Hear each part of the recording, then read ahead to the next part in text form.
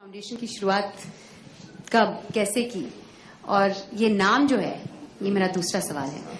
ये नाम कैसे पड़ा इस नाम में अभी तक मैं कंफ्यूज हूँ कि ये नाम कैसे पड़ा एक आम, शायद एक ऐसा टाइम हुआ कि मुझे याद नहीं है कि आम, ये नाम कैसे पड़ा फिर मुझे ऐसा लगता है कि आम, सोमी का एक ब्रांड था सो मी तो उनका एक टी शर्ट था ह्यूमन बींग तो वहाँ से शायद थॉट आया है एक या तो एक रात लेट वो ऐसा ह्यूमन बींग लिखा था मैं इस तरफ़ था।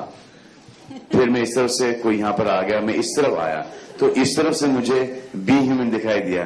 तो वाला वाह यार ये कभी कभी लेट रात को अच्छी अच्छी चीज़ें हो जाती